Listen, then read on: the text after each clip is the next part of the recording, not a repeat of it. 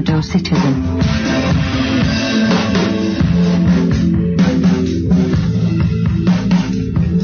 Shadow Citizen will explore the shadows of an alternate reality. Your hosts, Rachael L. McIntosh and Rob Bosell.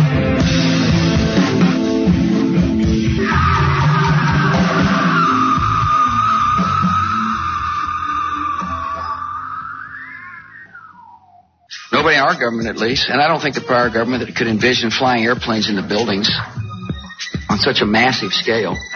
I don't think anybody could have predicted that these people would take an airplane and slam it into the World Trade Center, take another one and slam it into the Pentagon.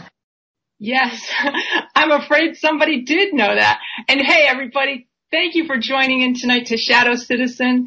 I'm Rachael L. McIntosh, your host, and my co-host is Rob O'Sell. Rob, are you here?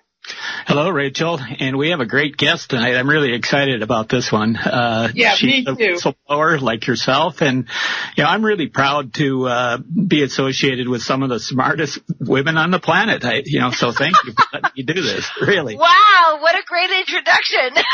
That's right. Now, our guest, everybody, that she just heard her, her name is Susan Lindauer and she was a U.S. intelligent asset. And for people that don't know what an asset is, it's basically somebody who's kind of like a spy. Yeah, kind of like a spy. and but yeah, and and I'm sure Susan could tell us exactly more about that. But she ended up in jail because she did know that these planes were going to hit a building. And she's here tonight to talk to us. So Susan, introduce yourself. Say hi to everybody. Hey there, everybody. An asset is human intelligence. So much intelligence these days is based on surveillance of phone records and metadata collection, but real intelligence, old-fashioned gumshoe intelligence, is human intelligence, where you're actually engaged in direct contact uh, with uh, a, with the target, and it's it's often very, very, very dangerous. One of my best sources uh, who I might share with you if she's willing to do it, um, had someone inside the Benghazi compound when Senator, when uh, Ambassador Stevens was taken. That's an asset.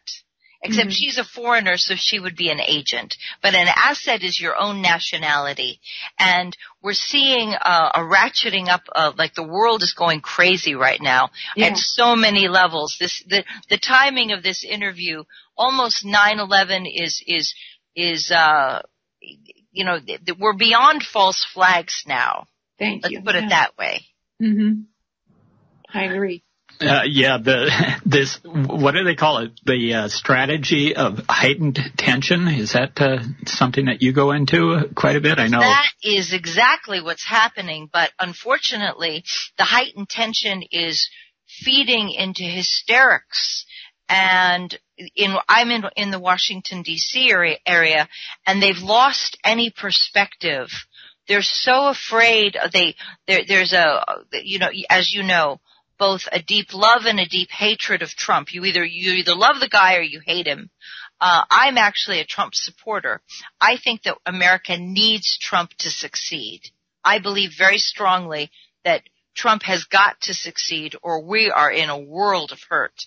China apparently contacted a, a law firm called Wilmer Hale and demanded after this uh, special prosecutor was appointed, demanded that four, four Wilmer Hale attorneys should be released to contribute to the special prosecutor investigation in order to make sure that Trump, uh, because they have a close historical ties to Trump, and they add and and China initiated this. This is something that the that uh, anonymous uh, the Julian Assange Anonymous group, the the hacktivist group, re- revealed that they had they had captured the cables. So we have, you know, so they they had captured the cables from China to Wilmer Hale, saying, "For God's sakes, you have to stop this thing." China is terrified right now that if Trump is overthrown, in a coup, and it's a coup. This impeachment nonsense is, we're going to talk about everything. is totally garbage. But if, if Trump is overthrown in a coup, it would be a fast track to World War III between Russia and China and Iran. And so they are, they realize for all of you who think that Trump is like this misogynist, racist warmonger, in fact, Trump is anti-intervention. He wants America first, jobs first, trade first. What is wrong with that? I just cannot understand why anybody would be against that. And you have the warmongers who are the, the you know, the, the, the neocon Jeb Bush, George Bush, Dick Cheney cabal who are pushing war, war, war, John McCain, war, war, war, every opportunity that they can. And well, then well, we have the refugee crisis and, and this, the schizophrenia of these people, the George Soros crowd, the millennial supporters saying, we want to protect the refugees, but we support Hillary Clinton and the neoliberals and the neocons who are pushing the wars. And there's no, there's, there's no, there's like this schizophrenia now. It really is dangerous. I, I I agree. Rob was going to ask something. I have a question about something you just said, but go ahead, Rob. You ask first. Well, yeah, I was just going to say, you know, where the the main reason we want to get into this is we want to talk, you know, something about uh, 9/11, and you know, and, and just recently there was this Manchester thing, and I actually heard something news uh, interesting hit the news cycle, and this is a very short clip, but I'm going to just do it quick, and then let's talk about 9/11 and other false flags. What do you enjoy report right there from Manchester? Listen to this. Um, and there is, in, it, it, would appear, some evidence that this was a suicide bombing. Um, that certainly takes me down the Islamist terrorist um, direction. It must also be noted that in, in recent months uh, in Europe there have been a number of false flag uh, plots where uh, right-wing extremists have tried to frame Islamists uh, for uh, uh, for terrorism. So what he's saying there is, is, you know, that, well, the definition of a false flag. Do you, do you want to do that, Linda, or, or I can do it, or Susan, excuse me. Uh, or yeah, go, can, go ahead. Go for it. Well, it starts, you know, allegedly with, you know, pirate ships when they're, uh, they wanted to, you know, raid a, a, a, ship that they saw out at sea. They would fly the same flag as the, as the ship that they, that they were approaching.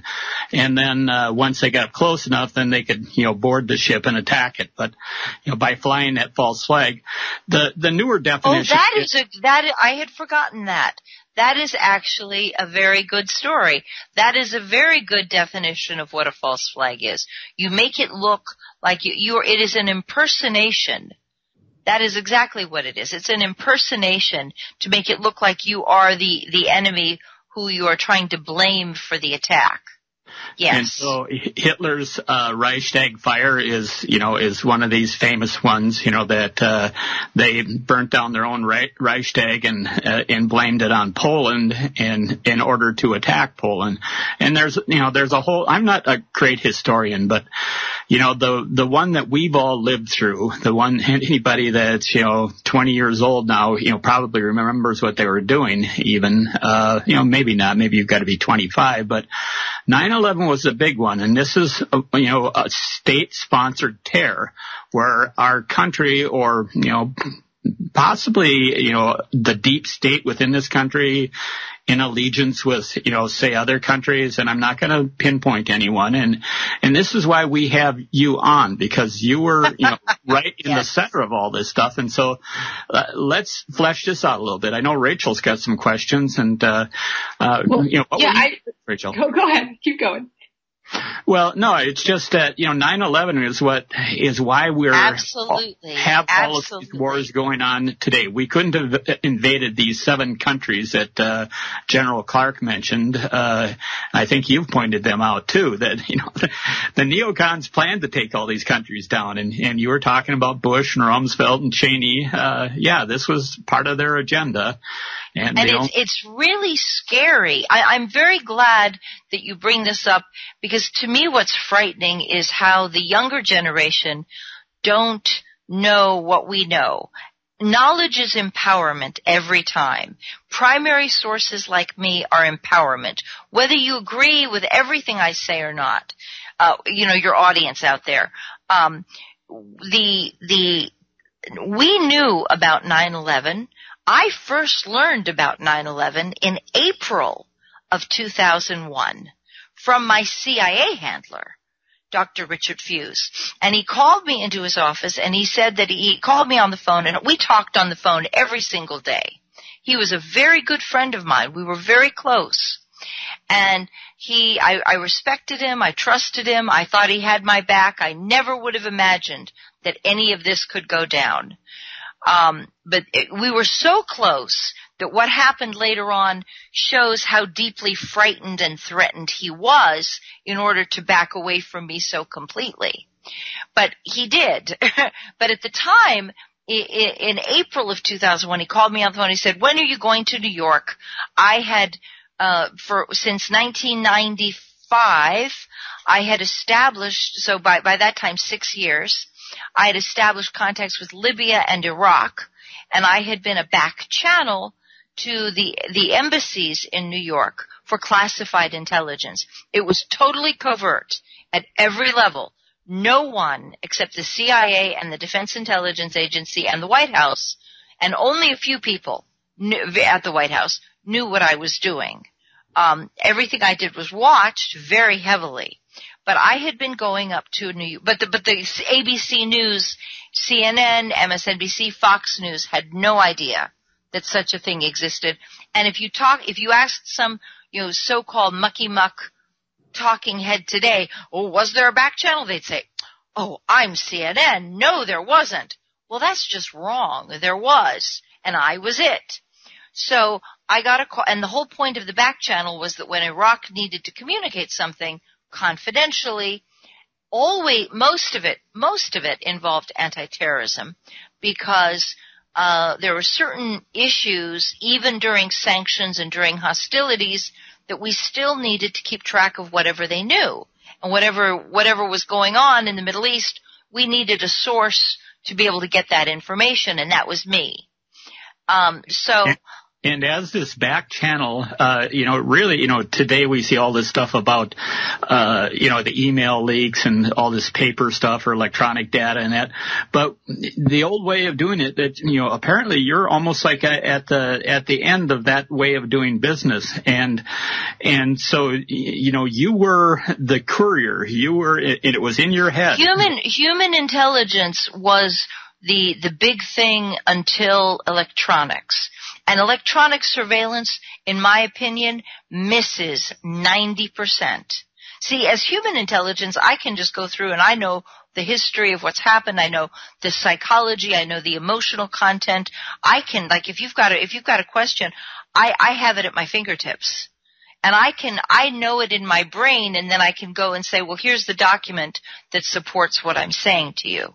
Right. So I, I can be, I, I work from my, from my direct contact and direct in, interaction with these people, and then I pull out whatever you actually need from my files. And, and so, you know, I did possess you know, now it's, you know, 15 years later and my work would no longer be totally confidential. But back in the, back in the day, it, you know, 20 years ago, 22 years ago, it was, it was, it was hyper, hyper, hyper confidential and secret, top, uh, top secret and above. And so. Susan, I have a question. Um, about what you were doing compared to WikiLeaks. How do you feel about WikiLeaks? Because so much of what America and the world is consuming is like they'll be on Twitter and they'll say WikiLeaks says this. The, the basic. I know, love WikiLeaks. You you love it, okay? I love, love, love, love, love WikiLeaks. I do. I believe deeply that our entire society benefits from direct access to the most intelligence you can get. I think that an educated public makes better decisions and better guidance to politicians. And it scares me to see anybody in the demo, like the Hillary Clinton crowd, calling those people traitors. Pompeo, the CIA director, called WikiLeaks a traitor. You know, Trump was right on the camp, was correct on the ta- campaign trail when he said Julian Assange is our hero. You know, I, Trump said it first. He said, I love WikiLeaks. And I was like, yeah, you're going to be my president. I mean, really and truly, really and truly, why are you, not you, I realize you're not the ones who are attacking it, but anybody out there who's attacking Trump, you need to realize he is fighting the deep state for all of us, and he's gotta win, or we are all going to lose. They're going to take our rights. The Democrats are the big massive surveillance state. The Democrats are the party of corruption. They are so dangerous and they eschew all, abjure all responsibility for their actions. They, they they, run from one lie to the next lie and they've got the, the corporate media feeding you this lies.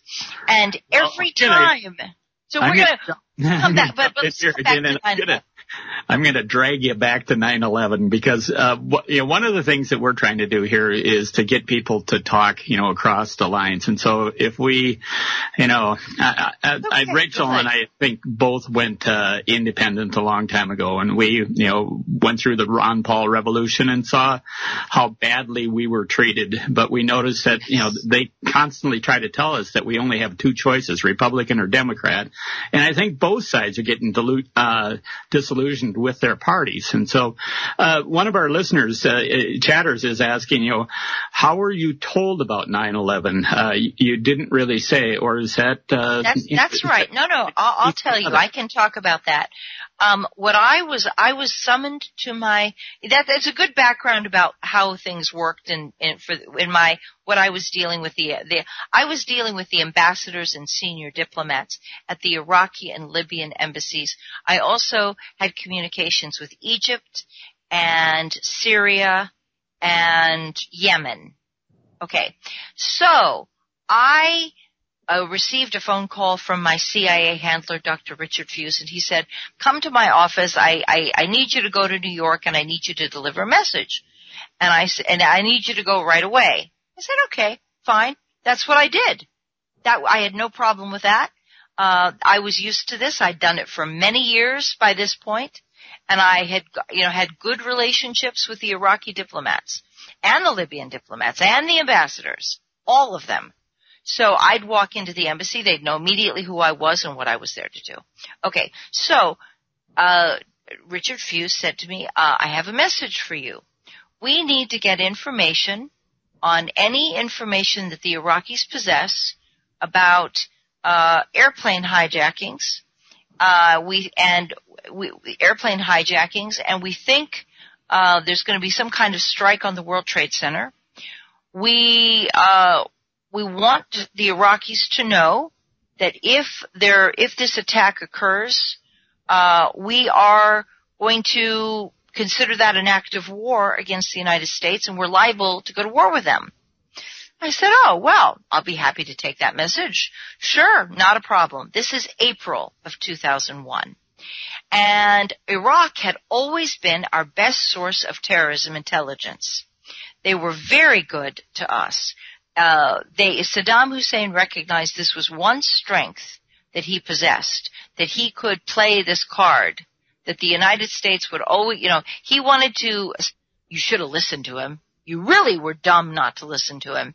Uh, he said, you know, Iraq, we are a secular people. We're against the Islamic radicals. We think that they're very dangerous. We want to help you contain them.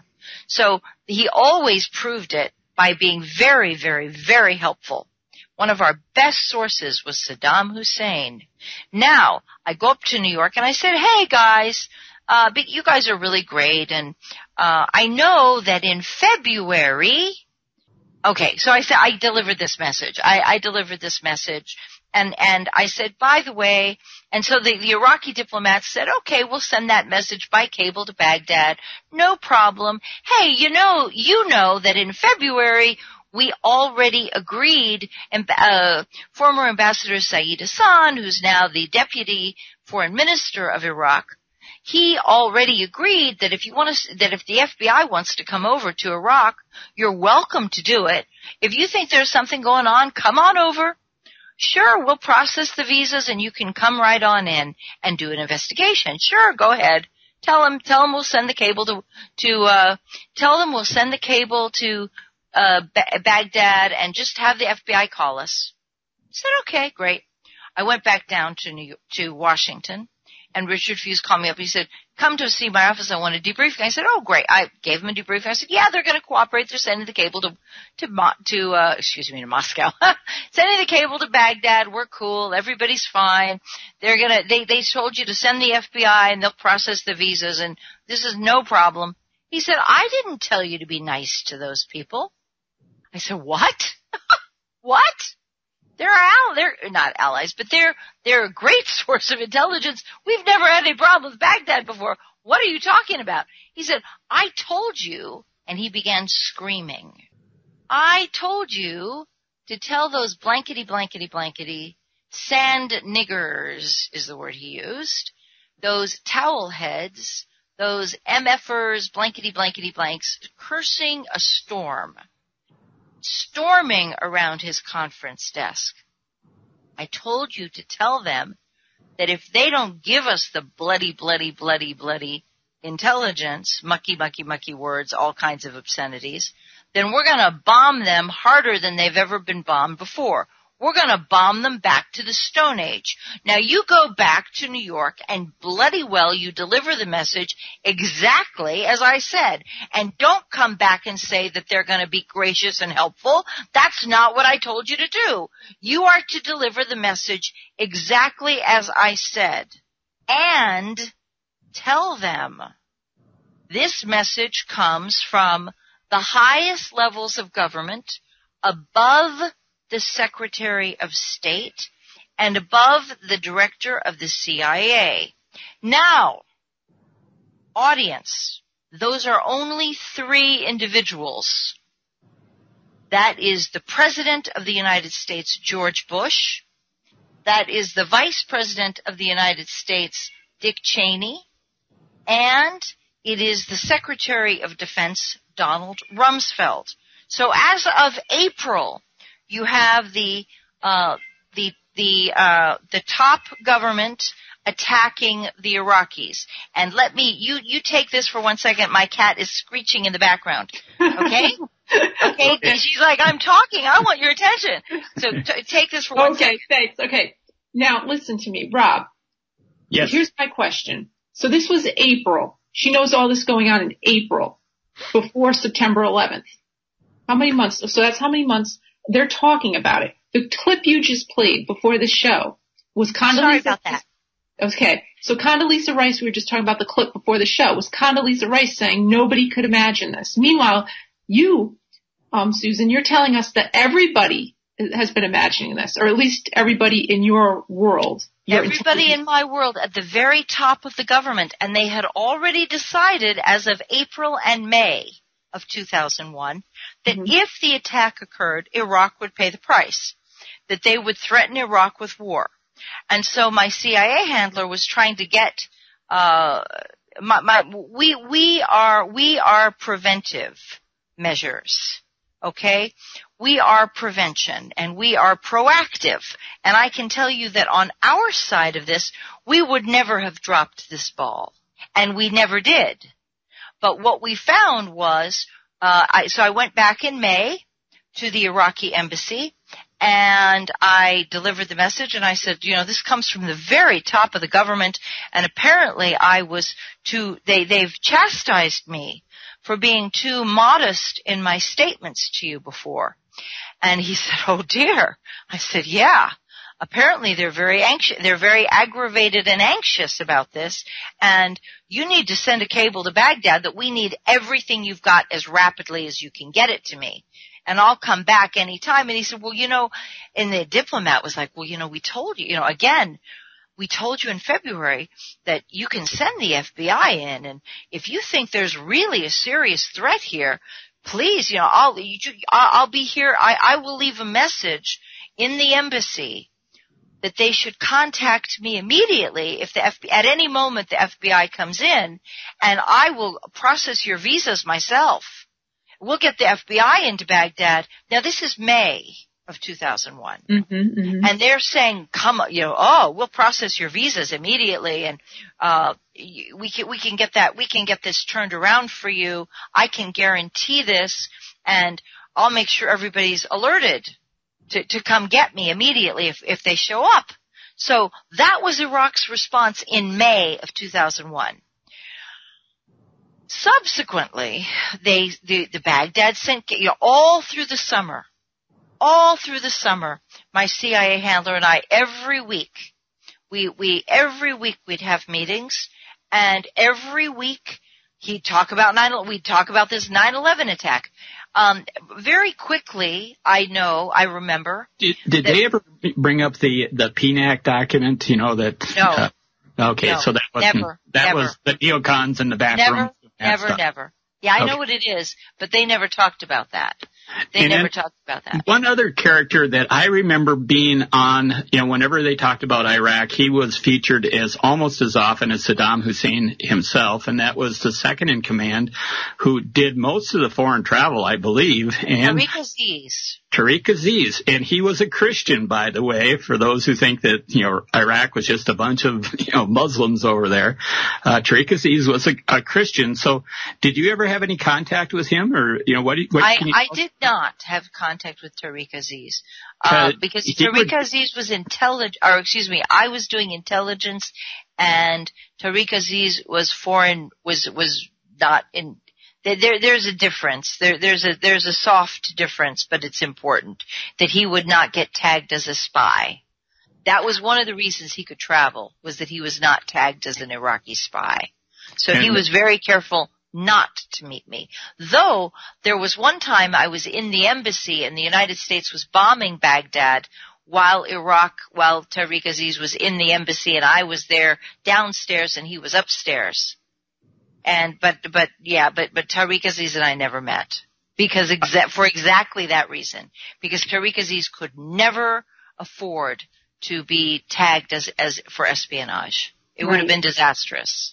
I just found it very interesting that you know he, lived out the rest of his days in prison, and you know I, I don't know if he was being interrogated or debriefed. I'm sure he probably was, but uh, I would have loved to heard you know some of the stuff that he could have told us about what was going on in the back channels because I'm sure he had uh, you know he's privileged to a lot of information, but No, that's cool. That's cool. Um, but yeah, but that's that's great. Um, but that's what anyway. That's what happened throughout the summer uh, of of 2001. For months, we talked about it. We knew we had a very specific idea of what was going to happen. That it would involve airplane hijackings and a strike on the World Trade Center as a known target. And I'll tell you something. Originally, the, I regard this as a, as a backdrop for the quote official story of 9/11. I think that the one of the I have come to decide that in in in retrospect, um, I did not originally think this, but I've come to see it this way: uh, that they were establishing a cover for the official story, and they were trying to build a legend for it. That's what it's called, a legend. So they're creating a fake history of what's going on. So they're trying to say, look, the CIA was really concerned about this. The CIA really tried to get this information. Iraq would not provide it. But of course that story then backfires. But we all, in the original official story, the original official story always included bombs. And I think that's important. We always said that there would be a mini nuke somehow, it was always a mini nuke. Uh, not the thermite or anything like that. No types of derivatives of, of explosives. It was a mini nuke that we expected would bring down the towers and that when the airplane hijacking occurred and the airplane struck the World Trade Center, the mini nuke would be detonated. And I remember saying, I don't understand. And I remember Paul Hoven, my defense intelligence handler, saying, you know, ta- we talked about this all the time and all the time and saying, but but in, if an airplane strikes the World Trade Center, how will that detonate the nuke? Because we all know that we know that that uh, an airplane crash does not is not sufficient to de- detonate a nuclear attack. It has to be there's a there's a, a sequence of of coding that has to be, you know, that, that it comes into play. Said so, so just how, you know, how are they going to get the bomb? How are they going to get a nuke on an airplane? And even if they, the airplane strikes the World Trade Center, how are they going to detonate the nuke? I kept asking that question over and over. Can I ask How you, will that Can I ask you a question? So you guys already had it in your head that there's going to be airplanes, that there was going to be some sort of bomb. Was it just the CIA or was it the other agencies starting to talk about this too? Oh yeah, the Defense Intelligence Agency was all over it. Everybody. All of the intelligence. It was the buzz. Everybody was talking about it as far as I knew. Everybody, but you see, anti-terrorism was, um, smaller, much smaller.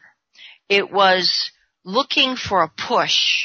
Well, we got the show Okay. 24. We got 24. Remember 24? That show? Do you remember it? Yeah, yeah. Yeah, so it's right around that time. They were already playing that. They were No, already but, but, but, but they, but they, they were trying to push terrorism as a big event. Yeah. as a main event. But back in the day, when I did anti-terrorism, I gave advance warning about the 93 World Trade Center attack. That's how I got into this. Um, I did, I was not aware of, uh, I was young. I was 29 years old. I did not know about the FBI involvement, but I knew about the attack and I told some people, I told the Tunisian, the Tunisian embassy about it uh, for my own reasons that I'm not uh, at liberty to, to discuss with you. Why I went to the Tunisians, I'm not going to tell you. But I did, and I knew that it would involve Egyptian radicals from the south of Egypt who were trying to assassinate Hosni Mubarak. So I contacted the Tunisians, which turned out to be a very good move, and that's all I can say. Uh, and but they You- knew that I they knew that I was capable of interacting with diplomats and that I would be confidential and that I could put together terrorism scenarios on my own on my own capability. So I'd already done this. I it- already gave advance warning also about the bombing of the USS Cole. That intelligence came from the Iraqis. Uh, we'd had a lot of little in, of information about smaller attacks, but I want to emphasize these were real attacks. Okay, they were now very important. The USS Cole is a very good example of a real attack that is exploited. It's it's a variation of a false flag because real terrorists plan it out and the United States tracks the intel, finds out intelligence about it and then the United States stands down and lets it happen so Hmm. that they can negotiate with, Ye- in this case, Yemen, and I was good friends with the deputy ambassador of Yemen, so I actually told the deputy ambassador of Yemen before, five days before the attack. Five days before the attack, I I went up to my, uh, the deputy ambassador Al-Sindi and I told him about it myself. And I said, you need to be thinking about how you, you are going to cooperate with the United States in addressing this threat when it happens. You need to have a plan. Because I was sick to death of seeing like Libya and Iraq under sanctions. Poor Yemen is, they're, they're, they're an impoverished people. They're some of the, they're, they're dirt poor. They're the most, the most hungry, hard scrabbled people anywhere on the earth. And I, I grieve for these people. So I was like, I don't want you to end up under sanctions. You need to figure, you need to be able to deal with this so that you don't fall under the sw- of what's happened to all these other, to these Now- other countries. Okay, I'm gonna- sanctions, sanctions. That brings us back to Iraq. Is that why you were dealing with Iraq at that time? Because they were I under was deeply under, I was deeply opposed to sanctions. which were Right, killing, right. Yeah, which sanctions the, the uh, neoliberals, warmongers, neoliberal warmongers, and the neoconservative warmongers both deride the com- the impact of sanctions. But sanctions killed um, between 1.7 million and 2.2 million Iraqis. right, right. And it's you just, and, mentioned- and I, and I, and do, please do not argue with me on these figures. no, I, I know not. the figures. No, uh, I, Madeleine no. Albright in 1990, at the beginning of 1996, Madeline Albright was asked about 500,000 children under the age of 5 mm-hmm. The, the, the United Nations and the World Health Organization only counted children 5 and under and adults over the age of 65. They did and not. I have that clip. I have that, I have that, clip. I'm going to roll it right now so people will know what, what you're talking about. We have heard that a half a million children have died. I mean, that's more children than died when, when in, in Hiroshima. And, and, you know, is the price worth it? I think this is a very hard choice, but the price, we think the price is worth it. Oh, Madeleine Albright. Yep. And you got to realize the sanctions, that was in 1996. The sanctions continued for another seven years and the children continued to die. So by, that was in 500,000 in 96. By 2000, uh, 2003, it was over 1 million had died. But why, so, would the, why would the UN, why would the UN change the numbers like that? Why? Because they're ashamed of it. The United Nations is a, a lazy, it's, it's a country club atmosphere. They do, they are, weak countries get to send, like third world countries get to send their diplomats and their ambassadors to New York and it's a party town. Yeah, it's, a, it's like a it's like a party university. Do you go there to do you go to did you go to study or did you go to have to the, to play sports? Well, you you know, a lot of people go there for the sports. Yeah, yeah. And that's what one it's of, about in at the United Nations. Yeah, one of the congressmen that I dealt with pretty religiously, um, he's mentioned in my books to the people that have read my books, and I've, in my book he's called Stan the Congressman.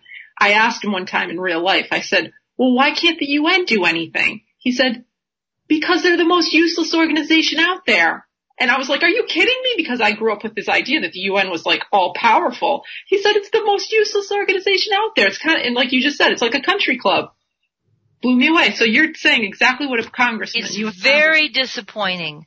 Very disappointing. And I'll tell you, I am somebody who believes that it could be so good it could be so necessary to have a, a, a, meeting place for different countries.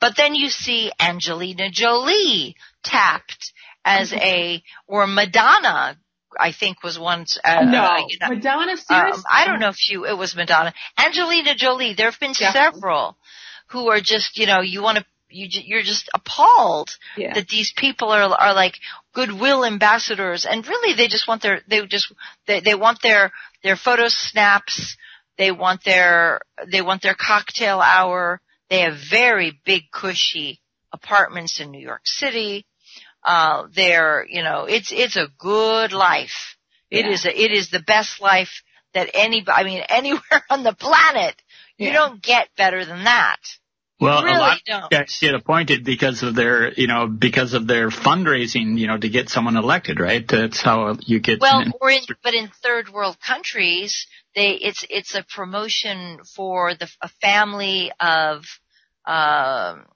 you know, like if if you have a, a tyrant government, then you reward your supporters by giving them this this uh sycophant. What do you call it? Sinecure position. It's a sinecure position so mm-hmm. you, you get your, you know, you get your, you, you get your kid off to Harvard and you get to go be the ambassador to the country or be a diplomat for the country. It's a very prestigious thing for those countries to do. It really is. And a lot of them, they'd have no opportunities if they were at home at all. So right. anyway, you, to come back to 9-11 and, yeah, and what was going on. So yeah, yeah so pull, pull it back going on. People are dying. Yeah, so so we have, but we have, uh, so I, that's why I was doing it was to oppose the sanctions, and I was I was very offended by it.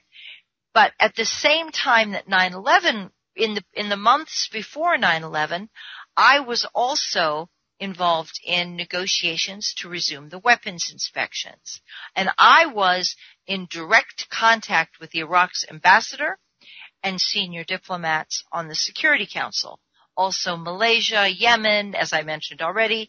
Um, and so we had uh, the the the whole world had become sick to death of this appalling and immoral policy. The United Nations could not stomach it any longer.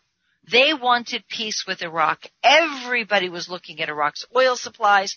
Iraq was cutting deals on the side with all these different countries saying, you know, hey, come help me, come help us get our sanctions off. And as soon as sanctions are lifted, Japan and South Korea will buy automobiles from you and we'll buy medical supplies from you and we'll buy all these, you know, and, and, and, you know, here's a, we gotta rebuild our entire economy. Everything in our economy we have to build from scratch. So we have to start over because we've been gutted to zero. And so all of these European countries are looking, oh, this, this deeply immoral policy of killing all these children versus a peace dividend that would have rivaled the reconstruction of Germany and Japan. And they're all looking at this and going, oh, this is a good deal. Let's do it. So the United States and Britain had become very isolated. And everyone, and a lot of people, the French knew I was doing it, the Malaysians knew I was doing it, and they were all hoping I would succeed in getting George Bush on board. And so they, this was in the day, and people, life, this is how much life has changed. It used to be that the United States called the tune, and we would have to be satisfied before any resolution of sanctions was undertaken. It used to be that people actually cared what we thought. Not because of our moral authority, because we'd never had moral authority. We just wink wink had it. But what we had was power.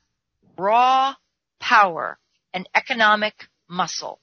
So, well, I want to talk a little bit about Iran because, I mean, Iraq, excuse me, because before we went in, Bob, that was a very, very Western nation, you know, and I mean, you could you know, look through Baghdad in some of those early pictures and it looked like it might be a city in New Mexico.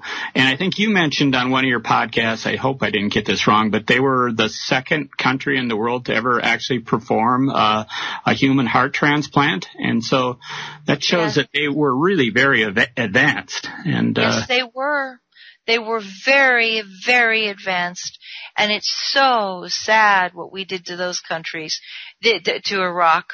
Uh, they had the a, a, a hospital medical care that rivaled all of Europe and, you know, Cedar Sinai in Los Angeles and Sloan Kettering in New York and the Mayo Clinic.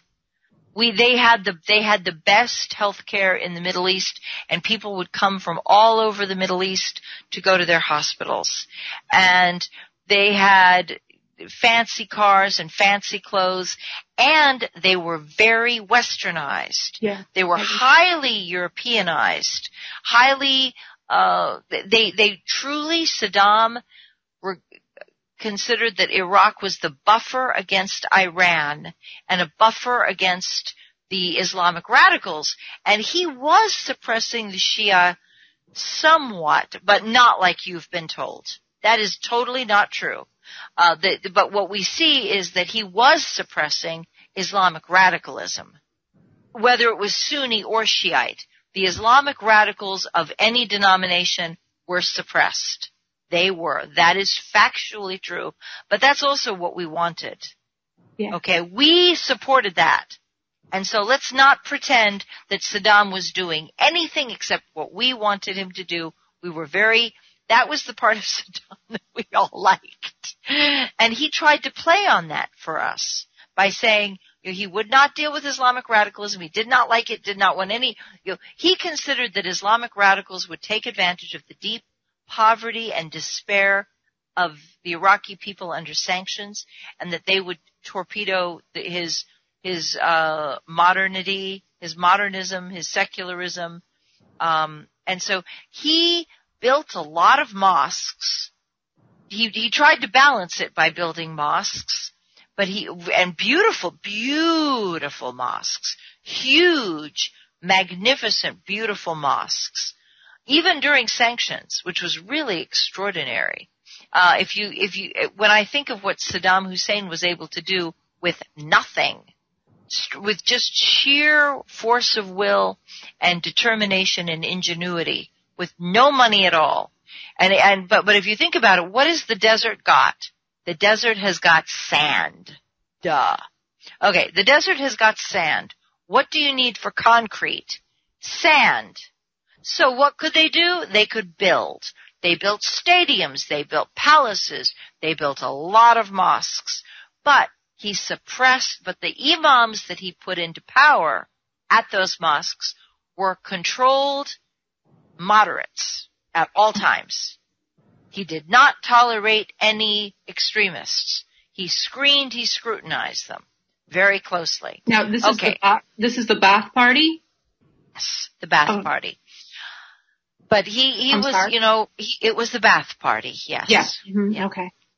Just like Syria, just like Syria, what uh, uh, Hafez al-Assad, the senior uh, father of Bashar al-Assad. But there was no reason for this war. The anyway, the coming back to 9/11, I think that the reason for 9/11 was that the world was so exhausted of this sanctions. The world wanted peace with Iraq. If you had gone into, if George Bush and the neocons had gone to the United Nations, as as weak and me- mediocre as they are, and said, "Well, we want to have a war," it, they would have they would have been it would have been the one thing the United States could never do. It just it was just it was impossible. They had to have a Pearl Harbor scenario so that they could get the war of their dreams. Right. Okay? Now- and that was 9/11. Right. I, I What's have this uh, short clip from V from uh, for Vendetta that uh, it's you know it's basically what uh, what's going on here. You, you know whether it's Manchester or 9/11, it's kind of uh, what they do. What we need right now is a clear message to the people of this country. This message must be read in every newspaper, heard on every radio, seen on every television. This message must resound throughout the entire interlink. I want this country to realize that we stand on the edge of oblivion. I want every man, woman, and child to understand how close we are to chaos. I want everyone to remember why they need us. In the former United States, civil war continues to devastate the Midwest. So yeah, that's Oh, civil war in the Midwest. We may be pretty close to that, people. We'll get to that at the end Yeah. of the show. I know.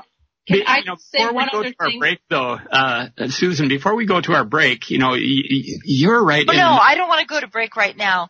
no, no, I, we're not right now. But I, I, I want you to talk about uh, how did you get into this position? I mean, you you've lived this life of intrigue that you know. Oh well, now before before we do that, uh, I there's a lot of things I can't tell you.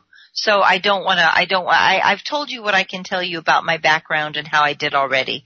But but let me let me just say that that the reason for 9/11 was that peace. th- This is very important. I think the reason for 9/11, when it comes down to it, is that peace was breaking out all over the world. And I want you to think about that. I want your audience to think about peace versus 9-11. And I want you to all to think about the whole Russia collusion meme and the demonization of Moscow. Why are we doing this? There is no reason for this. What they're doing to Trump, Trump wants collaboration with ISIS. That's a very good policy. That would solve the problem, probably. Syria and Russia have been beating ISIS. Uh, Aleppo has already come back to Syrian control. The, the, the, the, the ISIS fighters and the Islamic radicals have been pushed farther and farther out uh, towards Raqqa, towards Turkish, the Turkish Kurdistan t- territories, and they, believe me, Moscow and Syria are are kicking booty to get this thing done. They are so scared of what's going to happen to the United States, but they're winning. Okay, they are winning right now. So as far as I'm concerned, those are the good guys. Standing with Syria and Assad, Assad is like, uh, just like Saddam was, very secular, um, very tolerant. There are 22 sects, religious sects in Syria, and all of them receive protection. Christian, Muslim, the Aramaic language of Jesus Christ is spoken at a little village in Syria to this day, and they re- and the, the local imams protect them and they worship each other's holidays and they celebrate each other. They had the most beautiful Christmas tree in Aleppo and the whole, I mean, amazing. Aleppo had just fallen and they had a Christmas tree. It's not like a tree with, you know, like a, like a wooden tree. it's a tree of lights that they had. But it was just magnificent considering that they had just come through this, this hideous war. Russia is cleaning up the IEDs and the, the explosive, the booby trapped buildings.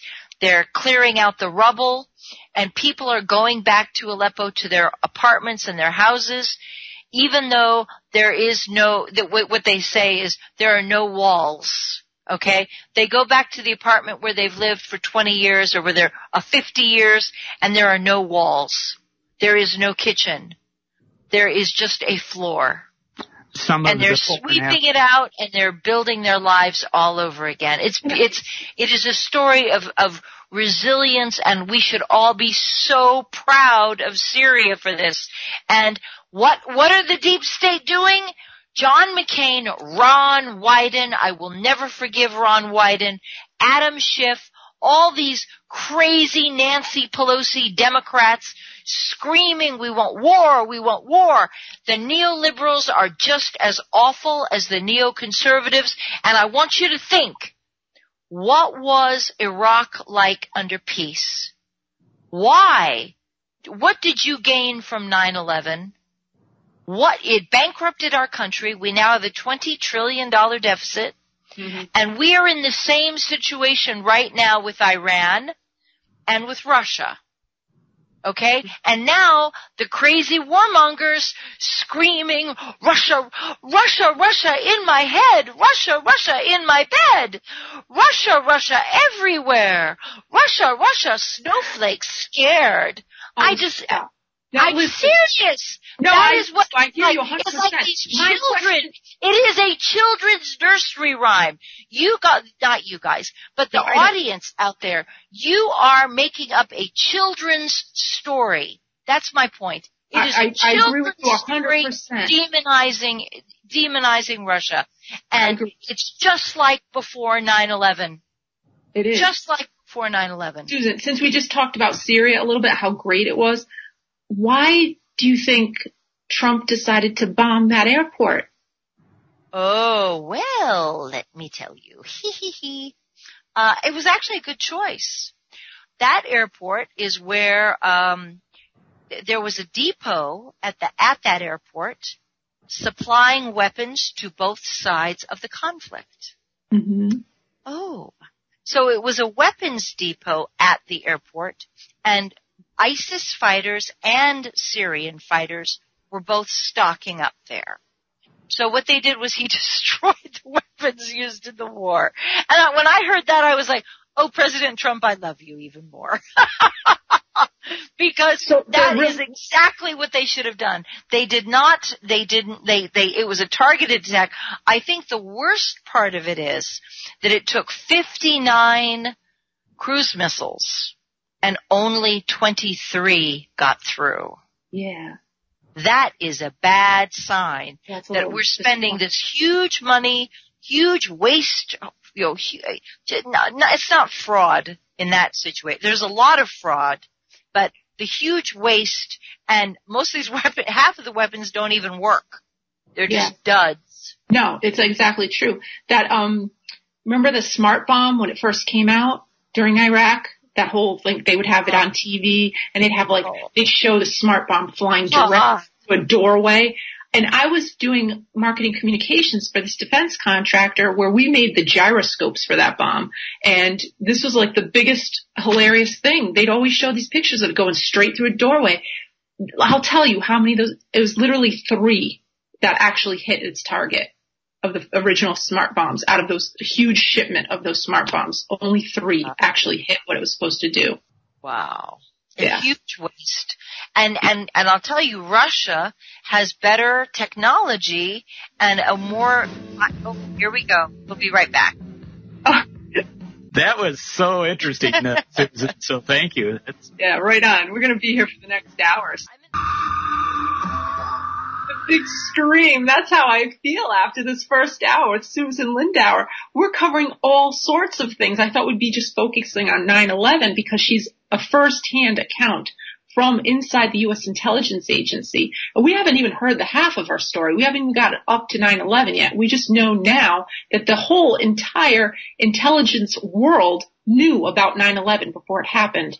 And the story that they told us on the news about how no one could ever anticipate anything like that ever happening, planes smashing into a building, we couldn't have foreseen that. Well, that's a whole load of BS. They did know about it. And so there's all these people out there marching around that knew this was going to happen. And Susan was at that place where she, but she's going to take us through what happens next. Obviously, everybody knows 9/11 well, happened.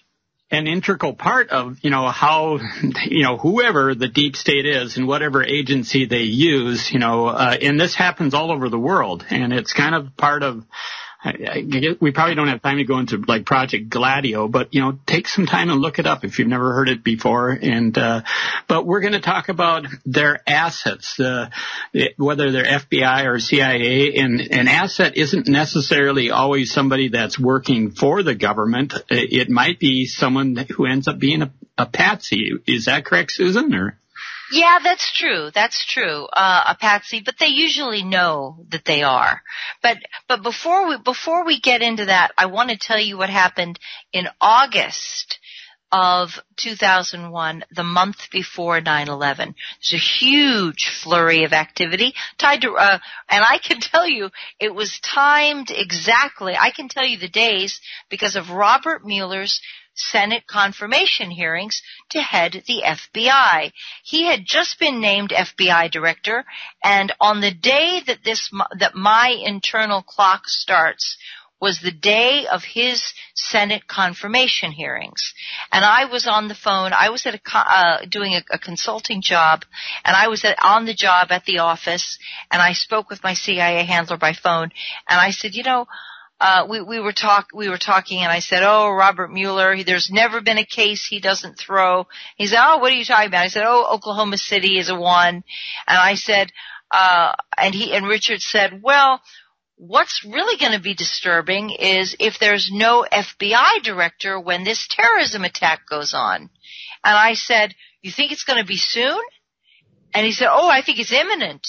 I think the attack is imminent. And what's going to happen if he's not even confirmed when uh, when there's no FBI if there's no FBI leadership when this goes down?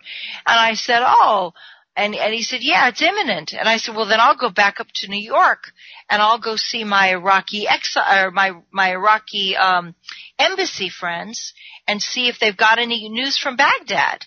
Now, this was oh gosh, I'm going to say August 2nd August 2nd.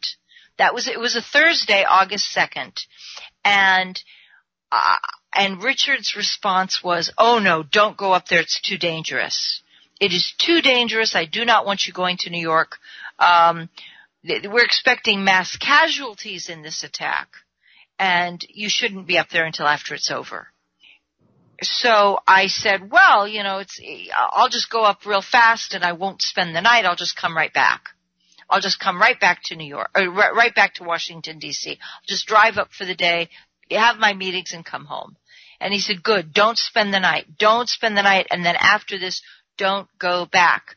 Because we were at this point always expecting the official story originally was airplane hijackings and a strike on the World Trade Center as a known target, but also a miniature nuke that was we always believed the towers would come down. Where always. was I ask a question? Where was that information coming from, Susan?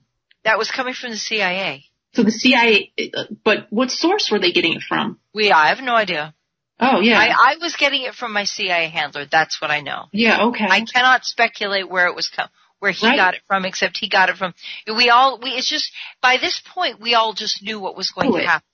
Right. We all knew what was going to happen exactly. We were all, it, we'd already, the story had already been planted in our brains and we were already ruminating over it. So how, how do people? Hold on, hold on, hold on. Okay, go ahead. let, uh, let, me, I gotta tell you the sequence of events. Okay, yeah, tell me the whole so thing. So August 2nd, uh, is Robert Mueller's Senate confirmation hearing. August 4th, I go up to New York.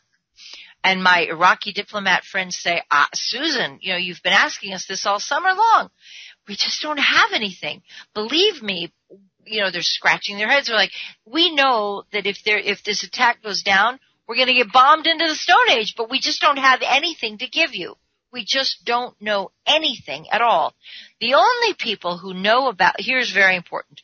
The only people who know about this attack are you. You know, you are the source. When we, all of our, all of our, all of our intelligence is back tracing to Washington. In other words, there's no, we're not hearing anything from the Saudis. We're not hearing anything from the Germans. Everything is tracing back to you. So I said to them, okay, well, I'll just go back and, and I went back to, that was August 4th.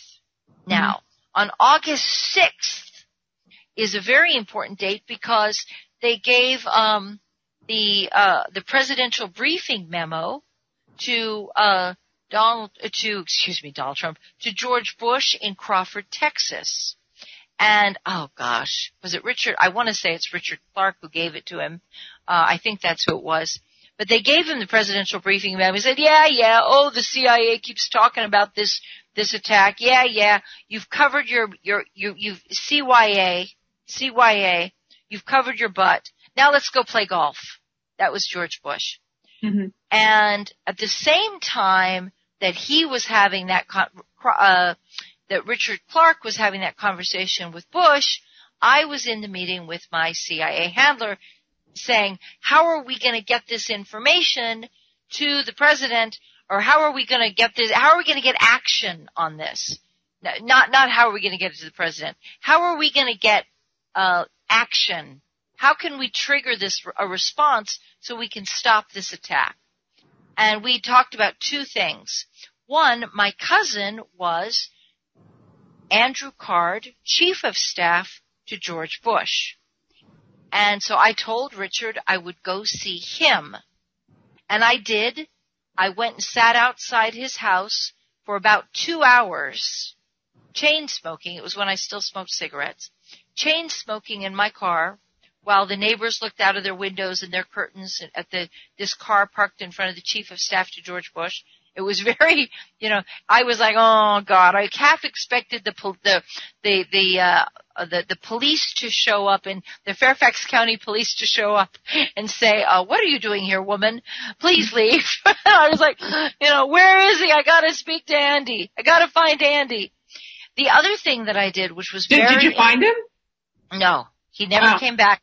He was on, he was on, August is the month when everything shuts down in Washington, mm-hmm. and he was gone for the holidays. So I left and I felt like I was making the biggest mistake of my life, that I had to talk to him, and, and, and, and I would regret that for like for the rest of my life if I didn't speak to him. And for years I, or not for years, but for, for a long time after 9-11 I did regret it.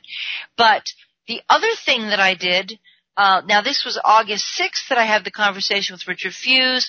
It's August 8th that I, 8th, maybe August 9th, maybe August 9th that I go see Andrew Card for two hours and say, August 9th, maybe even August 10th that I do that, Thursday or Friday.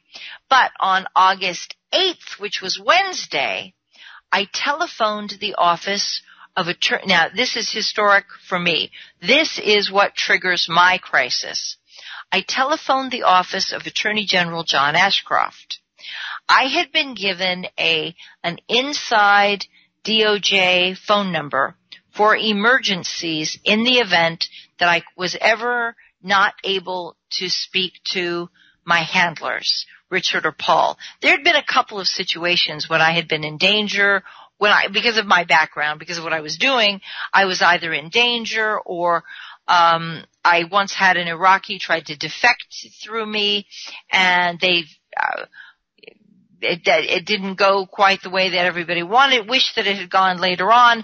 And my excuse was, well, I didn't know how to. It was nighttime. I didn't know how to get hold of you. So they gave me a phone number to call in in an emergency, and they said whoever answers this phone will be able to look across the room and see Attorney General John Ashcroft. He will have the message in 30 seconds flat This is the number you call. This was the only time I ever used that phone number. But sure enough, I did and I called and I said, I have an emergency. I am seeking an emergency. I, I've gone through this so many times in my head because of my later prosecution. I can tell you the exact words that I used. And because of the grief and the disappointment and the bitterness and the sadness over it, I said, um, I retraced myself just over and over, beating myself up over it. I said, I have an emergency broadcast alert across all federal agencies. I, we are seeking, uh, I cover the, the Libya House and the Iraqi Embassy. We are seeking any fragment of intelligence involving airplane hijackings and a strike on the World Trade Center as a known target. We expect a miniature thermonuclear device to be used, possibly a suitcase bomb, but we expect mass casualties as a result of the combination of these forces. And, you know, at that point I wasn't even thinking how are they going to get the bomb into the building. We just thought, we just, everybody was keyed into the fact that the bomb would be used. So we believed the bomb would be there and we believed that the World Trade Center would be destroyed by the explosion and everybody was going to die. Thousands of people were going to die. We always knew it. Everything that happens, we knew. Okay. So I said, I needed, I, hold on, hold on. No, no, let me finish, let me finish. I said, I, I need an emergency broadcast alert. And, and DO, the Attorney General's office said, I will give this message to John Ashcroft, and I here is a phone number for the Office of Counterterrorism. Mm. I want you to hold on, let me finish. I want you to call this number and repeat exactly what you did, what you told me, and tell them.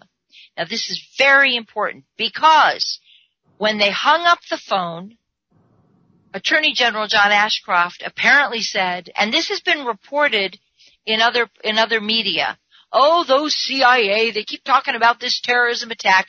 Ignore it. And John Ashcroft said, ignore it. But, but, because they had given me the phone number for the Office of Counterterrorism, I called those people and those people did it.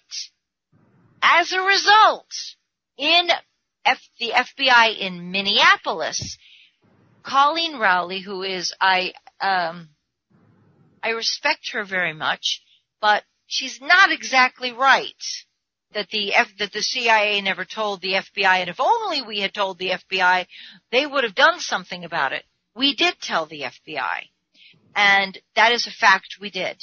So when she was on the cover of Time magazine and all, it was nonsense. I, I love the fact that she got to be on the cover of Time magazine or Newsweek or whatever you know, woman of the year, whistleblower of the year. Nonsense, nonsense. I was the whistleblower of the year. but I was in jail by this point. Oh so I, I, uh, the, the, the, the Office of Counterterrorism did put out a bolo on this. And the office, the FBI office in Minneapolis of all places, who would think it? Who would think they'd be training out there in Minneapolis or it would be in any way connected but they had picked up Zachariah Moussaoui and they had his computer. And in response to our request, they said, we've got it right here. Well, isn't this extraordinary? We just picked this guy up. And it turns out he's the missing hijacker. Okay? He's the missing hijacker. So they're like, we've got his computer, we want to break it open, we want a FISA approval, we want to have, you know, and, and we want to, we want to have permission, we want a warrant to go into his computer. And John Ashcroft blocked it. blocked it. Now, this is, this is the guy that was telling you just ignore it. Yeah, that's right. And so he was covering up he was blocking the FBI, and, and this is very important. This is like the death of JFK when the Secret Service is, is ordered to stand down before the assassination. This is, um, you know, 9-11, this is let it happen versus make it happen. Okay? There is a healthy dose of make it happen just by not taking actions that are regular protocols. So they contributed to the, the attack by even the people who were trying to get action, like the FBI in Minneapolis, like me, uh, like like like our like uh, Richard Clarke, who later would deny, who would play games about the truth and would deceive the public about this stuff for a long time. They deceived public the public about what was in this personal briefing memo and all of this. So, so they, so, so they, they lie. There's a lot of lies that are told right at that moment. And, and that's why you need to know that there was a lot more knowledge and a lot more attempt to get action and we were being blocked and punished. But of course, the, the, the grand kahuna of the lies of all time is this and you've all heard the story. On the day of, okay, so there's one more thing I need to say. For apparently, I have learned from a State Department source that who, who can never go public because he's afraid of losing his pension, that for about 10 days, from about August 23rd till about September 3rd, strange vans were seen entering the parking garage at the World Trade Center at about three o'clock in the morning after, very definitely after the janitorial trucks had left at about 2.30. So they, they, the janitorial trucks were all out of the building. There was a healthy space of time, about half an hour, and then these mystery vans showed up. And what were they doing inside the World Trade Center? Were they putting something in? Were they taking something out? where it was both going on, something was happening. They had never been there before. They left by 5 a.m. every morning. They arrive 3 o'clock, leave at 5 o'clock a.m. before the early risers, the AAA personalities from Wall Street arrived to go to start their day at the World Trade Center to check the Asian markets. Mm-hmm. And there, so there, so there is some strange activity for about 10 days. Then there's one more thing that every American can verify. On the morning of 9-11 itself, who else but George Bush, President George Bush, who is a man I hate, loathe, detest, and revile, like you cannot imagine. On that morning, he busted out in the emotion and said something.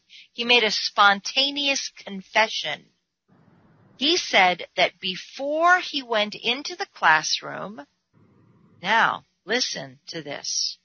Before I went into the classroom, I saw a video on television of the first airplane striking the World Trade Center. And I said to myself, golly, that's a really lousy pilot because I used to fly myself.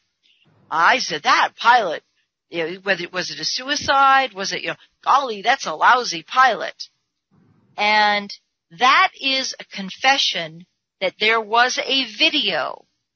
Okay? There was a video on site that, and that meant, now he was in Florida and the attack is in New York City, which is how many, th- a thousand, God only knows, a thousand miles away for the sake of discussion. And yet, had a, the President of the United States had a closed circuit video to monitor the attack as it occurred. Oh that requires, that confession right there requires advanced knowledge of the attack. And it's very much like what you see these crazy media doing now, this grossly irresponsible media fabricating lies and pummeling us and beating us. Trump is bad. Trump is bad. Trump is bad. And we gotta have war with Russia. We gotta have war with Russia. Oh, Trump's in the way. Trump's collaborating with Russia. Ooh, there's collusion. Oh my, we better impeach Trump because we want war with Russia. And all these crazy, dumb little snowflakes are out there saying, oh, Russia. Like I said, it's like a child's story a children's story. Russia, well, Russia, in my say, head. I do not respect you at all. I am so angry at you. I, I know you are, uh, Susan, but like I say, we want to try to uh, build bridges across, you know, and get, uh, you know, the snowflakes drive me uh, crazy, but then so do, uh, you know, the far right. You know, they're they're both. Uh, so we have to figure out a way to communicate with each other and, and that. But I I want to get back to this Trump thing. I mean, this uh, Bush in the in the classroom surrounded by children. Uh, you know, I I have this sneaking suspicion that you know, because that um, elementary school was not, you know, far from an airport, and I'm just guessing, you know, what would have happened if uh, a plane would have plowed into that school where Bush was, you know, or something happened where a oh it, no, uh, that wasn't going to happen. No, no, no. They they did, however, have we let you run for a long, long time. So let me let me just plug this in because just think about it. You know, had had Bush died in a classroom full of children, and we know that, you know, from Oklahoma City and other places that they have no problem with killing children. Even, even Madeleine Albright said, well, the price is worth it. Uh, but had he died in there, uh, you know, Dick Tater, uh, Cheney would have been, you know, president for a while, and Dick had a bad ticker, and uh, so it's possible that he might have, you know, they would have said, well, his health isn't good, and w- let's let's have Jeb stand in, you know, take over for his brother. So uh, it, it could have happened that, you know, no. No, you can't do that. No, no, sweetie, you can't do that. There is, there is, there is never a possibility of one Bush substituting for another. No. Never. No. Uh, in the in the in the theater of public opinion, they could have no. played.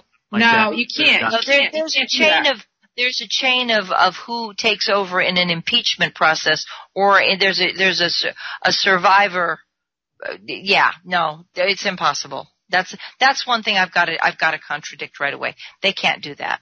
Okay, I will give you that, but uh, it's something that's played in my mind because yeah, Never. I heard about the you know the Bush. Uh, you know, seeing the video, and I'm a pilot also, and uh, but there there's a lot of strange things. You know, you keep you know bringing down, uh, mentioning it about a nuke, and yet if you watch the towers coming down, they are being blown apart from the top down. There you go. Yes. So yes. it's not but, like. But, but here's the thing: I'm not defending a nuke theory. It would have had to be a series of them, possibly. You know, micro nukes. You know, every five. No, 10, no, no, no. Let, let me let me just stop you.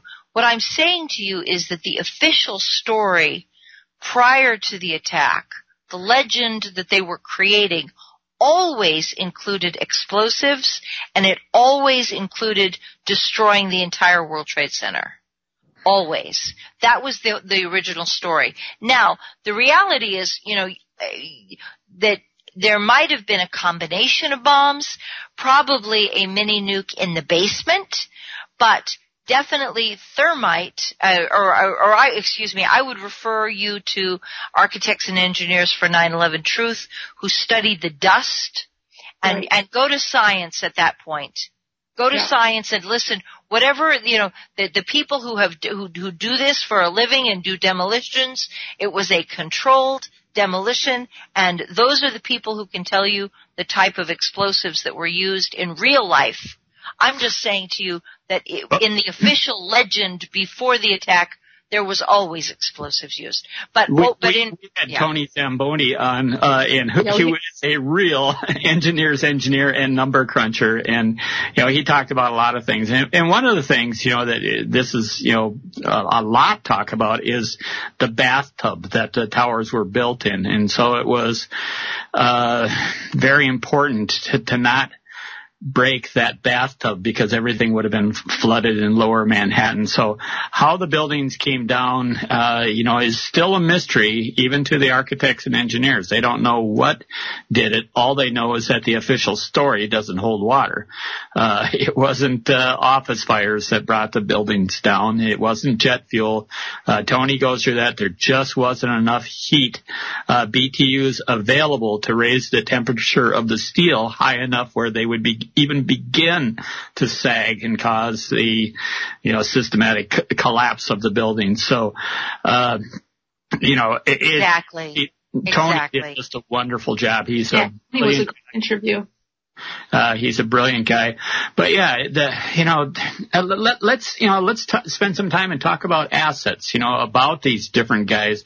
Uh, I know Judge Napolitano was on uh, was on Fox, and I I should have thought to grab this clip, but you know, he talks about of the 14 terrorist uh, you know attacks that uh, the FBI stopped. 12 of them were with you know people that the FBI already knew about, and it's the same way with you know the, the Zachariah brothers, you know, or, uh, I got the, I'm pronouncing that wrong. The Boston bombing guys, uh, in this guy in Manchester, this latest one, they all were on the radar of the, you know, of the special police were following them and they knew about these guys in advance before anything happened. So how are they able to walk into an area with all kinds of explosives or weapons well, or whatever? in this, in this case, um, I, the, the Tsarnaev brothers in Boston, oh boy, I don't think that our, that their story is known.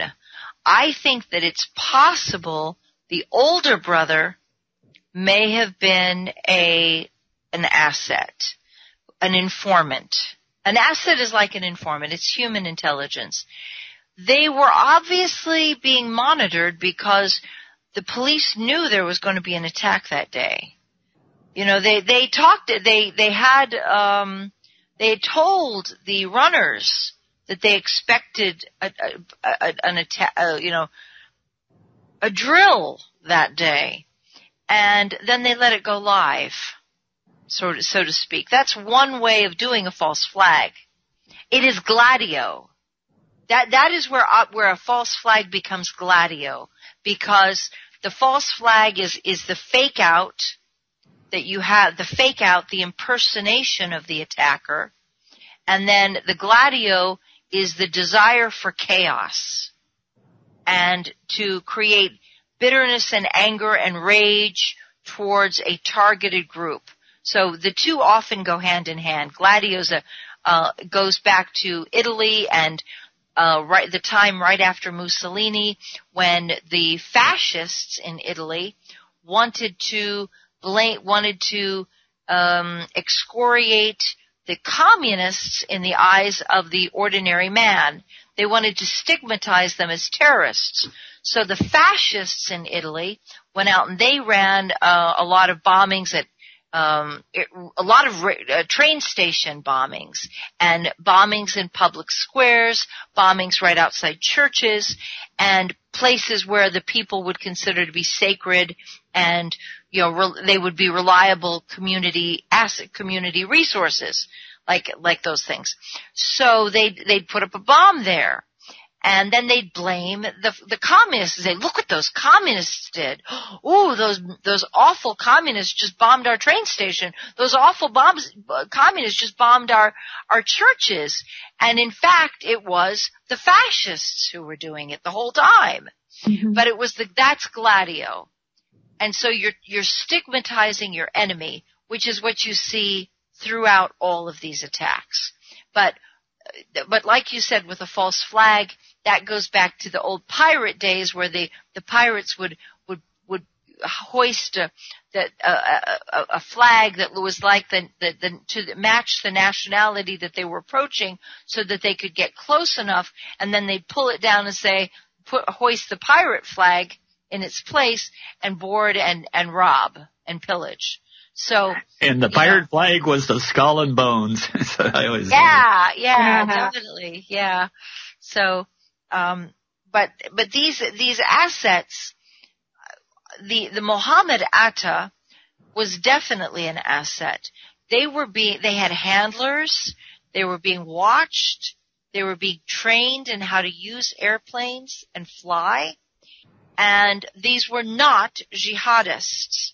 They were supposed, they, they would later try to give an imitation of a jihadist, but they threw around a lot of cash they used a lot of drugs, cocaine. They used a lot of uh, alcohol. They went to strip clubs. There is no jihadist anywhere who would do the kind of behavior. And by now, I hope we know that. Islamic, real, genuine Islamic radicals, they use drugs, they use coke, they use heroin and methamphetamines and, you know, And they had blue-haired strippers. yeah. But, but the, but the, but the real jihadists do not have, um, do not have the blue-haired strippers. They've got everything except that. So, but the, but the, the, the Muhammad Atta crowd, we have knowledge that they were connected to the, they were being overseen by people who are known now to have been fronts for the CIA. They were companies for the CIA.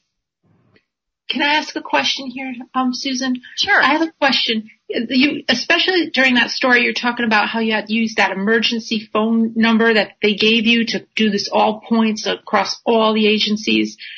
How, what would happen? Because you're saying you told the FBI. What would the FBI have done different than the CIA to stop anything? Nothing. I mean, they, okay. they had the, they had the ability to get search warrants. Oh, okay. Yeah, the, the, the FBI can, the FBI is domestic. Okay. The CIA is only supposed to be inter- outside the United States. FBI is supposed to be domestic intelligence. Okay. But what the FBI does then is the FBI goes out and says, "Oh, the CIA never told." Now this becomes important in in the in the last half hour of the story.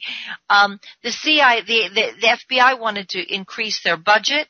They wanted to increase their mission statement. This terrorism stuff was going to be big money. Mm-hmm. The problem is there's not enough terrorists to go around. In the old days, when we started, there were only about 300 terrorists in the entire world. Mm-hmm. Now think about that. 300. You could only fill a small high school auditorium, maybe a small high school auditorium. If you were to fill it up with every terrorist from every country, that's what you'd have. That's right. You'd have the IRA in there from Ireland. You'd have like all these, oh. yeah, because that was the big one back then, right? The Irish. And and that is kind of a an Operation Gladio type thing, the whole IRA in Ireland, and uh, the uh, I hate to say, you know, if if anybody wants to look into this, I mean, uh, James Corbett and Sibel Edmonds have just really done some wonderful work on this. So, uh, you know, the history of Gladio, and you know how it's still with us, it's still going on today, and so but so, uh, but back to 9/11 though, 9/11 became like a giant commercial to create more terrorists. Yes, exactly. Because you can't have. That's the problem. There weren't enough. There were not enough terrorists to justify the fun investigations that got people money and got people promotions and and you know, built up the FBI's reputation. They had to go, they had to go recruit.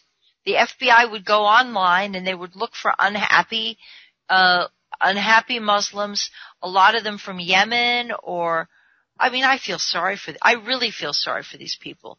Somalia got targeted. Now there are some now, now, nowadays, there are real terrorists from Yemen. Right. There are real terrorists from Somalia. And it's like this thing in, in Ariana Grande's conference, concert, uh, that just kills my heart because, you know, we, if we had never had Iraq, it, you know, the terrorism is blowback for our actions. Blowback means that it is a consequence, a punishment, uh, a, a, a, like cause and effect we did start this. Our wars in Iraq, in Syria, and Libya, and Yemen have cre- and and all of this have in Sudan have created a a massive rupture and desensitization of violence and then those people are coming into Europe. They are enraged that the Europeans live so well when they have lost absolutely everything. And there's just blind fury but people are going to be very upset when I say I support extreme vetting. I have been, I've dedicated my life to being anti, anti-war and anti-sanctions and anti-violence, but I will tell you that I am totally convinced that these refugees are going to come into the United States and they are already creating a lot of, they're, they're bringing their fury with them and their fury has a cause. And to me, it's like a bar fight. In a bar fight, you have to keep these two groups separate. You mm-hmm. don't, it doesn't matter anymore that we're right, we're wrong and they're right. Because what they want to do to get revenge on us is really scary. And yeah. we cannot let it happen or we're going to have a lot more wars. And you, what you see is the Operation Gladio and false flag, and they're capable of doing false flags, just like we are. The Israelis are capable of doing false flags. If you have somebody you want to attack, like if you're Saudi and you want the United States to attack Iran, you have a false flag attack and you set it up to make it look like Iran did it. And then you can draw the United States because we don't think 30 seconds ahead and we got all these snowflakes who are out there saying, war, war, give me war, you know, and you can make, you can push them to do anything. And I'm really, I, I want to say that you guys wake up. You are being severely manipulated. And if this show teaches you anything, you could have peace just as easily as you could have war. And this whole Russia scam is really frightening. There is no threat from Russia. Russia wants to be our ally. They are a powerhouse like we are, and we are now a, if anything, our stature has fallen so much in the world. We are no lo- we are, we are no longer first among equals. We are three, we're like a three-headed triumvirate of superpowers, China, Russia, US. But mm-hmm. we're not leading them anymore. Right. Now, do you, that's, do you think that's mostly because of the financial situation that the United States is in? Or do you think that's due to something else? What do you no, think? yes. I, I think that I think that it is the financial situation. We have lost our moral authority. The world sees that now that we are hysterical and and really pretty crazy in our bloodlust like, and, and the insanity of attacking Syria and then saying, but we love the Syrian refugees. You're welcome to come live in our country. We're gonna bomb your neighborhood. We're gonna blow up your schools, your houses, your shopping centers. We're gonna bomb your markets. We're gonna kill your children come live in America. I want you to be my neighbor. I'm a really good person. I want you to live right next door to me and I'm going to kill your children while you're there. It's crazy what we're yeah. doing. Yeah. We're gonna kill you over there and we're, but we're really good people. You can, I love Islam. We don't want a Muslim bad. That would be racist. No, war is racism. Get it through your heads. War is racism. There's nothing worse than that. You're targeting an entire people for extermination. That is racism. And this I, whole. I want to get back I want to get back to the uh, you know the assets, and and I just kind of want to make a point here as sort of an aside. You know, whenever like a a rock star or a pop idol or something like that dies or commits suicide, you have a lot of copycat people you know, that all of a sudden they can't live without this pop idol that they, you know, that they grew up with. And, you know, and so you have this rash of suicides that kind of uh, are in sympathy with these. And so I, I think terrorism is a lot the same way. Like this guy who allegedly did the Manchester bombing, uh, you know, was not a, an import. He was a domestic, you know, and, and yet was this kind no, of? No, he has, he has very strong ties to Libya. His brother was arrested in Libya. And uh, okay, and I would like to talk about Libya because uh, you know when Gaddafi came to power in Libya, it was one of the the poorest countries in Africa, and and by time we we came, we saw he died. Uh, you know, he, he, Libya was one of the richest, you know, countries. And you talked about how they had, you know, built up this gold reserve, had a great oil infrastructure where they could sell oil for a dollar uh, a barrel and, uh, or get it out of the ground for a dollar a barrel. And, and so, uh, and, and Gaddafi. They call it was, sweet crude, sweet crude and he was sharing the wealth with his people. I mean, he was, uh, and he was not, I mean, he was very good for the female, the, the women in, uh, uh in Libya, you know, uh, is, you know, they were not treated like cattle or you know property to be you know traded and sold by their husbands and fathers and that. They actually had a say in their future. And uh I, I think Gaddafi even had an all-female, uh, you know, team of bodyguards or something like that trained to uh, protect him. Is, you know, you want to talk about? Did you know? Yeah. Did Th- you know? those are those are very good. Those are very good. Uh, when when Gaddafi took over, there was there was universal poverty and I- illiteracy was was sky high. By the time of his death, 89% of Libyans were literate. He had free education, free healthcare, free housing.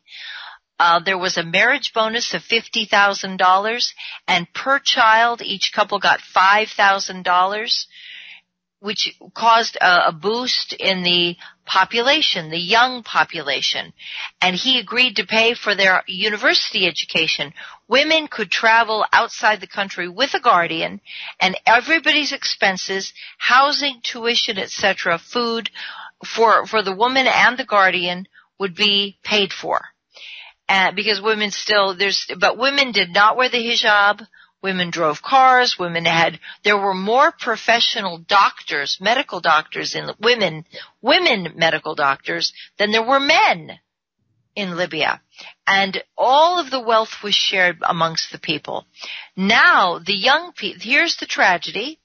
The young Libyan men who, they had, they had this high, very high birth rate, got bored and they started hearing this Islamic jihadist philosophy and they got, oh, I'm going to have a jihad. Oh, this is going to be so much fun. And they destroyed Libya. The families now are so bitterly disappointed, bitterly enraged because these kids, these stupid kids, um, who were very, very spoiled. They had never worked for anything in their lives, and they had everything given to them, and now they were tearing the society. They have torn the society apart, and even the the young jihadists, um, the families feel that their sons are, are great disappointments to them great disappointments. And they all say, you know, I hear from these Libyans all the time saying, oh, if only we could go back and bring back Gaddafi. We are so sorry that we did not appreciate how great it was. What we had was so good, and now we have lost everything. We have lost everything. And, you know, Libya is a failed state now. Yeah. Now, do you also kind of like a bulkhead to keep all of that mass, uh, you know, migration of immigrants out of Africa into Europe. Uh, that was kind of like a buffer zone. He managed to keep them at bay. So that, uh, you know, that's part of the problem too, is that, uh, they're no longer there as a, as a, you know, as a, a border, a boundary or whatever. Well, what's happening now, it's even worse than that. After the uh, fall of Gaddafi, all the, now realize this is done by Obama and Hillary. Before the fall of, of Gaddafi, the Islamic radicals would, with big eyes, swore to Hillary Clinton, we're not going to hurt women's rights. Oh no, women will have protected rights. And the very, the very first day the first hour, the very first action that they took was to make an announcement. And they are very proud of this. And they, they said, we want you to know that our first commitment is to, is to Islam, and therefore we are renouncing women's rights in marriage. Henceforth, women will no longer have the rights to decide marriage and have, handle property. Women will no longer have rights in divorce. Women, women who hold a job will have to give their money to their husband. They will have no money of their own. They will have no control over their children.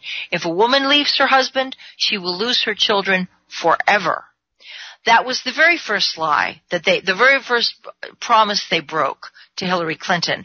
The first promise they broke to Barack Obama was just as ugly. They had promised, oh, there are all those migrants from Africa living in Libya. They'll be safe. We're such a modern society. Well, let me tell you what really happened. They began hunting out all the black Africans who were there as migrant workers because Gaddafi had a lot of money and Libya has a history going back a several hundred years of slave trading. They're huge slave traders. And so Gaddafi had made peace with Africa and sort of apologized for Libya's very dirty past. Well, what they, once he was dead, they went through and killed every every black African they could find. They the, the the jihadists did. They hunted them on the street. People were hiding. Anybody who was hiding a, a black African um, was killed. Uh, they could if they were in somebody's car. Not only would they drag the black African out of the car, they'd take the driver out and they'd just shoot everybody. So they scared everybody to throw their to condemn their neighbors and to you know there's one of them right there you know oh he's hiding in the backyard. And they put these people in alleyways and yards. So they were literally hiding in people's backyards so that they could say well you're not in my house. Just hide in the bushes there. Well try to remember this is 120 degrees. There's got no food, no water, no air conditioning, no electricity. It's murderously hot among other things, among every other problem they've got. Now they've got no electricity because the electricity is going out. You know, it's only running six hours a day. And, you know, the blacks are being hunted. That was the thing first. Now the blacks are being treated as slaves. And all the migrants and, and for all of us who hate the refugee problem and all the, the Libyans are, are very, um, entrepreneurial, let's put it that way. They're entrepreneurial and they're rounding these people up now and they're selling them in slave markets in Libya, all over Libya. They're, who's they're buying se- them, Susan? Who's buying them? Um, families, just families who who want us who want a free labor. You okay. don't have to feed them you very much. You don't have to give them anything very much. You don't have to pay them anything at all. But these are, these are people who are trying to get to Europe and so they're becoming the, the, the, the, the families who have, who used to have money to pay for whatever they wanted, they don't have any money anymore. They hate the blacks. Now they blame the blacks for the fall of Gaddafi. There's this po- finger pointing. Why is Gaddafi gone? You. You, right. you, you. Right, right. You know, and so they're, and, and for a few bucks you can grab a slave and work him to death until you want to shoot him. Women can be raped. And, and, and they are, the women female, the female slaves are sold as prostitutes. Uh-huh. It's really ugly. It's just, okay. So bringing this back to what just happened, what you what you just talked about is stuff that people that would be at that women's march worldwide would have been opposed to. In America, it became some sort of Trump, anti-Trump rally. But I think the Women's March worldwide was really opposed to the things you just um, ticked off about the stuff that just happened in Libya and after Gaddafi. Well, well, well, well. My uh, Arab women friends are furious. They're so bitterly disappointed that the Islamic, that the the women's march got convol- convoluted, conflated, yeah, sorry, conflated, conflated yeah. with the uh, the refugee ban, and people were like, we love the Muslims. We don't want anybody to hurt the Muslims. And they're like, uh, actually, you should be very concerned. If you care about Arab women, you should be very concerned about how women, Arab women are being treated. Right. And Islam, Islam is brutal to women.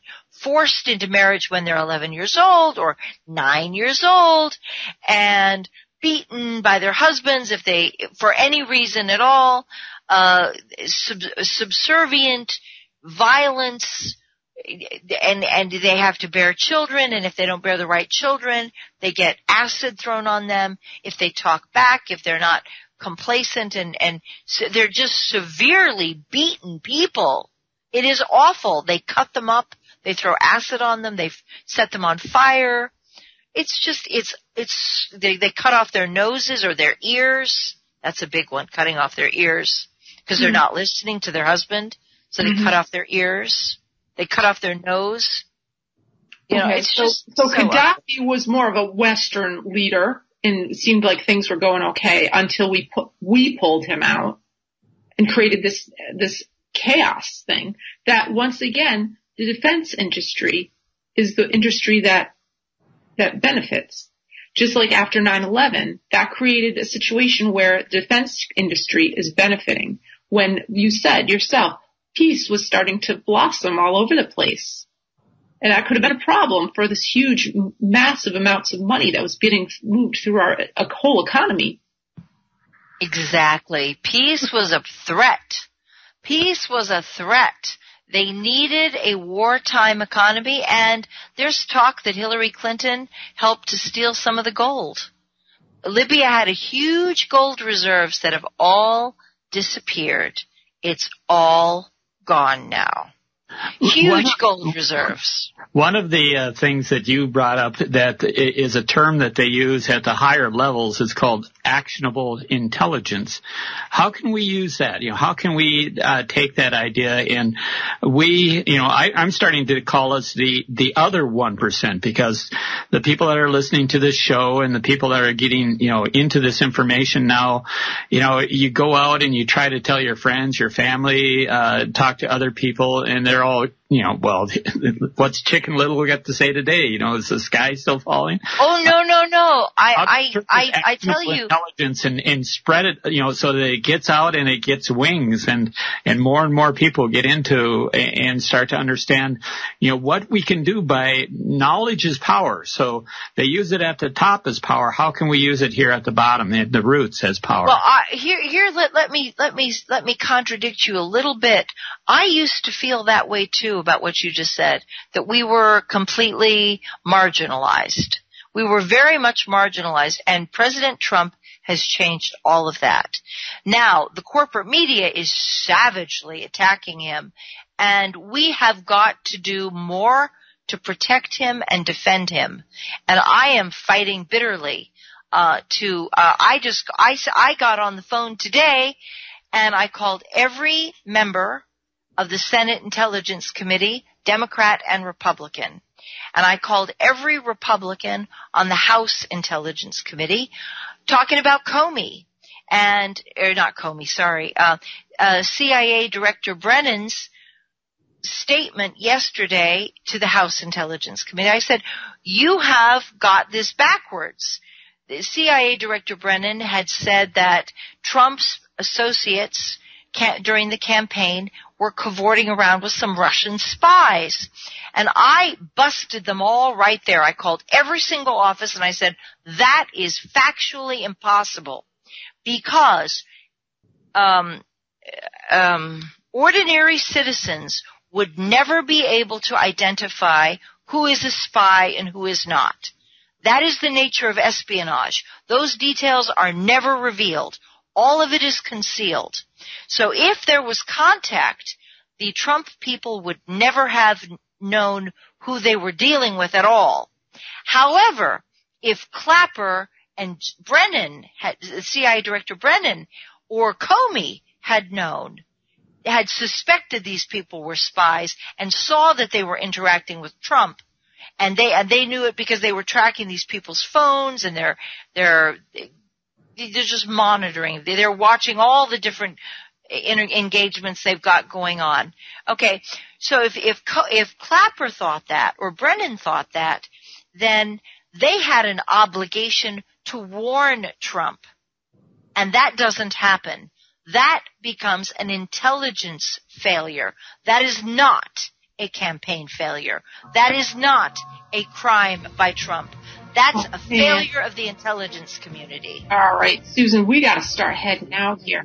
Um, I want people to know where they can get in touch with you. I know you've written a book that I want people to pick up. My book is Extreme Prejudice. Right. And, where you can get it on Amazon. All right. And you have a website? No, uh, not anymore, no. Okay. Right Thanks, on, Susan. Thank you. You rock. Thank you very much for sharing all that with us. Thank you.